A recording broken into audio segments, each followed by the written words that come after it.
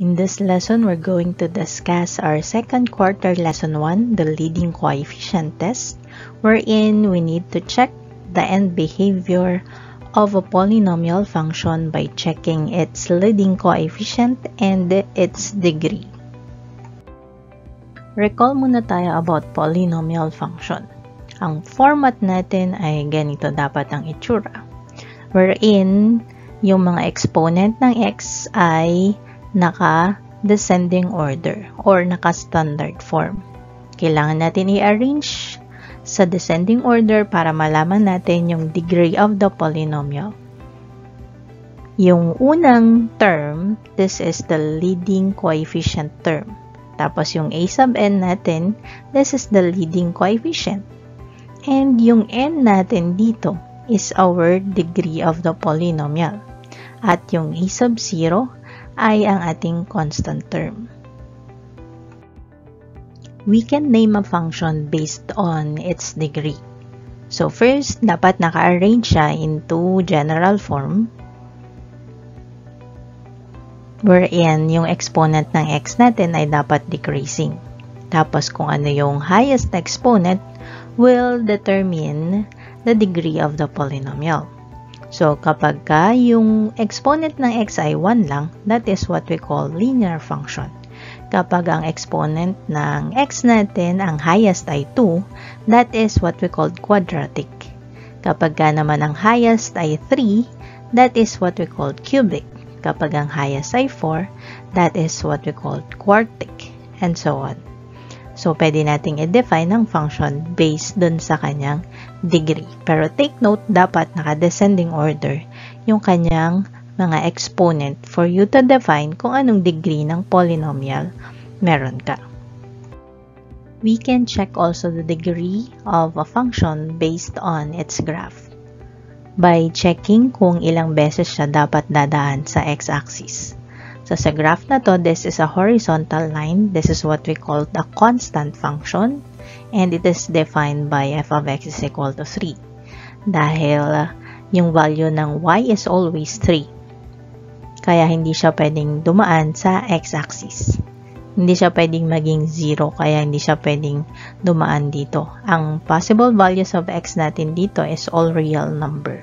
So, lahat ng x pwede niyang daanan pero pagdating sa y, it is always 3. Kaya ang degree niya is 0. Hindi siya pwedeng dumaan sa x-axis. In this graph, kung mapapansin, this is a diagonal line and isang beses siyang dumaan sa x-axis at point negative 2, 0. So, ibig sabihin, ang maximum number of zeros natin ay 1. Yan yung kanyang degree and that is what we call linear function defined by equation f of x is equal to x plus 2. Itong line na to is defined by f of x is equal to x plus 2. At ang kanyang y-intercept naman is at uh, 0, 2, 0.02 dahil dito siya dumaan sa y-axis. In this graph naman, kung mapapansin, dalawang beses siyang dumaan sa x-axis at point negative 2, 0 at saka point negative 1, 0. Dalawang beses siyang dumaan, so ibig sabihin ang kanyang maximum number of zeros ay 2. Tapos yung exponent din niya ay 2. And this is what we call quadratic function. At ang tawag sa graph na to is parabola. In this graph naman, ang degree natin ay 3 based dun sa kanyang function. Ibig sabihin, yung number or yung maximum number of zeros natin must be 3. Pero kung mapapansin dito sa graph na to, isang beses lang siya dumaan sa x-axis dito sa point na to. Ibig sabihin, yung dalawa pang natitira ay imaginary number or complex number. So, pwedeng mangyari yon. Pwedeng maging less than 3 yung kanyang uh, number of zeros. Pero bawal tumaas sa 3. So, dapat 3 lang. Kung ilan yung highest exponent, yun lang yung possible number of zeros ng isang polynomial function. Pwede siyang mas bumaba doon dahil yung iba can be an imaginary number.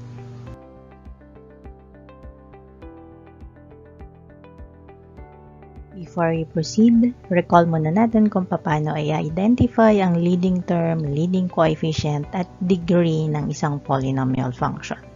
Let's have the first example. We have f of x equals 3x raised to 4 minus 8x cubed plus 8x minus 6. So, check mo muna kung ano yung may pinakamataas na exponent. Siya yung leading term. So, ang pinakamataas ay 4. So, isama mo yung 3x raised to 4. Yan yung ating leading term. And yung kanyang coefficient, of course, ang ating leading coefficient which is 3. At ang exponent niya ang ating degree which is 4.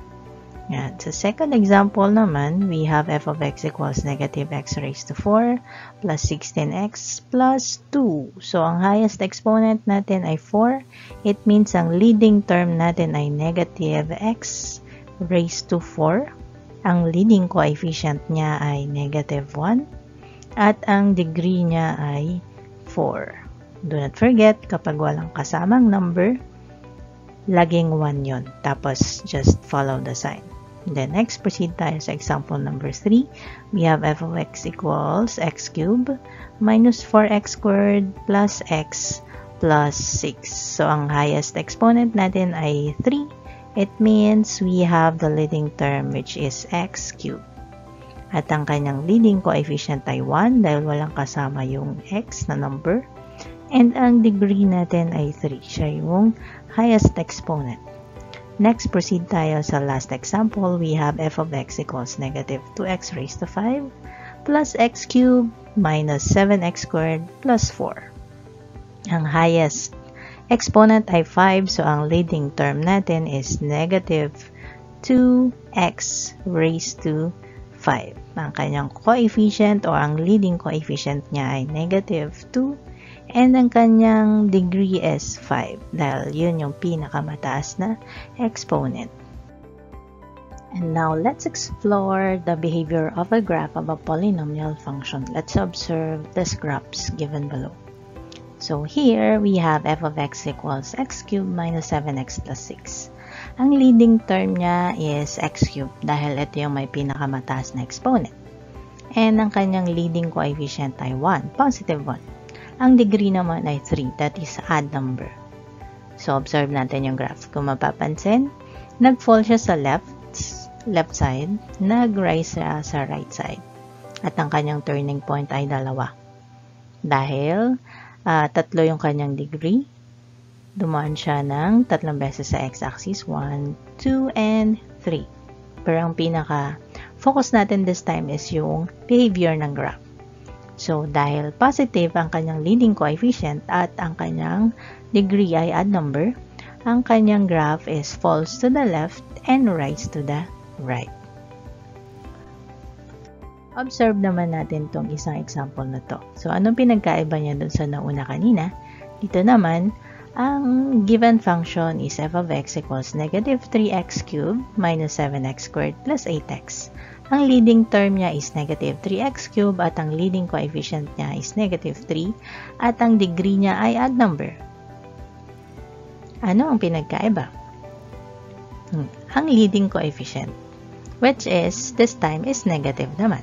At kung mapapansin dun sa graph, pabaliktad naman siya. Sa left side naman siya pa-rise at sa right side naman siya pa-fall. So, yung pinagkaiba kanina, kapag positive yung leading coefficient, sa kaliwa magfo-fall at sa right side magra-rise. Pero kapag ka negative ang leading coefficient, sa left side magra-rise at sa right side magfo-fall.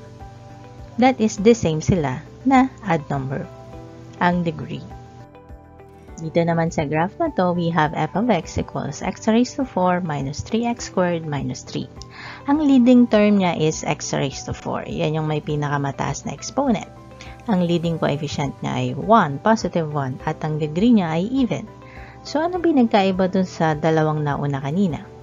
This time, ang degree ay naging even na, at ang leading coefficient niya ay positive.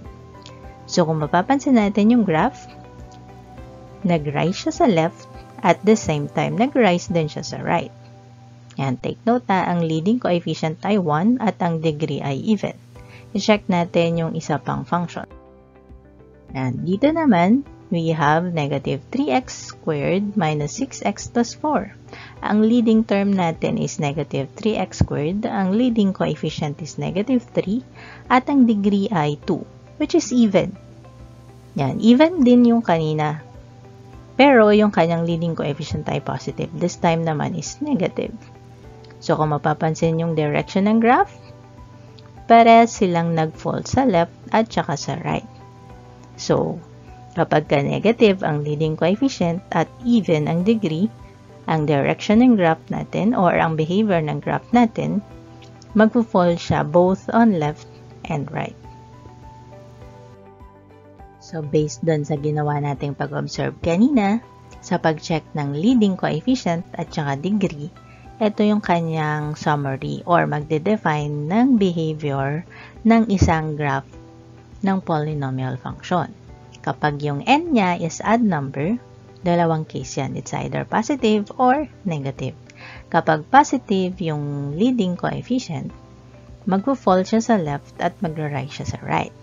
Kapag naman yung a sub n niya is negative, mag-rise naman siya sa left at mag-fall naman siya sa right. On the other hand, kapag ang n naman is even, dalawa din ang case niya. a sub n is positive at ang a sub n ay negative. Kapag positive ang leading coefficient, ang behavior ng graph natin, mag-rise siya sa left at the same time, rise din siya sa right. Kapag naman negative ang leading coefficient, mag-fall siya sa left at the same time mag-fall din sa right. So, that will sum up the leading coefficient test. Makakatulong to kapag mag-graph na tayo ng polynomial function. I-define muna natin yung leading coefficient test or gamitin muna natin ang leading coefficient test para ma-check natin yung end behavior ng graph at ma-check din natin kung tama nga ba yung pagkakaplot natin ng graph ng isang polynomial function. Let's check this one. Using the leading coefficient test, we need to determine the end behavior of the graph of the function f of x equals 2x raised to 4 minus 3x cubed plus x minus 1. So, na-define na natin ang leading term which is 2x raised to 4 leading coefficient is 2, which is positive. Ang degree is 4, which is even. And dahil positive and even, ang end behavior ng graph natin is rises to the left and rises to the right. Kagaya ng nakikita natin dito sa graph na to, magra-rise siya sa left at magra-rise siya sa right dahil ang kanyang leading coefficient ay positive at ang degree niya ay even. Now let's check this function. Let's use leading coefficient test to determine the end behavior of the graph. We have f of x equals negative x raised to 5 plus x raised to 4 minus 2x raised to 3 plus 1. So, yung kanyang leading term is negative x raised to 5 dahil ito yung may pinakamataas na exponent. Ang leading coefficient ay negative ang degree natin is 5 which is an odd number. Ibig sabihin, dahil negative ang leading coefficient test or leading coefficient rather, at 5 or odd number ang kanyang degree, ang end behavior of the graph is rises to the left and falls to the right. So, kung i-check mo, tama nga, nag-rise siya sa left at nag-fall siya sa right side. Let's have more practice. We have f of x equals negative 2x raised to 3 at plus x squared plus 18x minus 9. So, dito sa function na to, meron tayong apat na term. Isa, dalawa, tatlo, apat. So, which one is the term which has a highest degree? So, that is negative 2x raised to 3 which is our leading term. Negative 2 x raised to 3, yan yung may pinakamataas na exponent. So, yan yung ating leading term. At ang kanyang coefficient, ang ating leading coefficient which is negative 2. And of course, it is negative. Negative ang ating leading coefficient. And of course, ang degree natin, ang highest exponent ay 3. And 3 is an odd number. So since the leading coefficient is negative and the degree is odd number, then the graph of the function will or must rise to the left and falls to the right. Let's have another one. We have f of x equals 4x cubed minus 4x squared minus 19x plus 10. So we have how many terms? 1, 2, 3, and 4 terms. So alin dyan yung may pinakamataas na exponent? That is 4x cubed. So ang ating leading term is 4x cubed. And ang kanyang leading coefficient is, of course, that is 4 and it is positive. Remember, ang isi-check lang natin sa leading coefficient, it's either positive or negative. Tapos yung degree naman, that is 3. So, it is odd number. Ayan. Sa degree naman, check nyo lang kung odd or even. Since the leading coefficient is positive, the degree is an odd number, then the graph should fall to the left and of course rise to the right.